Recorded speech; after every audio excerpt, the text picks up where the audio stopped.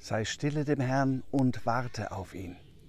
Dieses Wort aus Psalm 37 erfahre ich gerade besonders intensiv hier im Kloster auf der Insel Frauenchiemsee. Einmal im Jahr gehe ich mit meinen Mitarbeitern im Bischofsbüro hierher auf Klausur. Neben dem inhaltlichen Austausch und dem Teambuilding spielt die geistliche Meditation eine zentrale Rolle. Autos gibt es hier nicht auf der Insel. Besonders abends, wenn das touristische Leben zur Ruhe gekommen ist, wird es hier ganz still.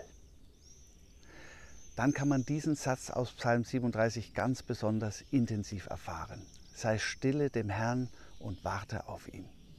Wenn es wirklich still wird, so geht es mir jedenfalls, merke ich erst richtig, von wie viel Impulsen ich den ganzen Tag umgeben bin und wie gut es tut, einfach in mich reinzuhören ohne die vielen anderen Stimmen, die von außen kommen. Und auf Gott zu warten. Gott erfahren. Gott spüren. Sei stille dem Herrn und warte auf ihn. Man muss nicht auf eine Insel fahren, um diesen Rat des Psalms zu folgen. Wenn wir keinen komplett stillen Ort finden, können wir eine Kerze anzünden und auf das Licht schauen, uns auf das Licht der Kerze konzentrieren und all das, was sonst auf uns einströmt, in den Hintergrund schieben und warten, was passiert. Oder wir können einen Ort in der Natur finden, wie dieses wunderbare Panorama hinter mir. Oder auch nur einen besonders schönen alten Baum.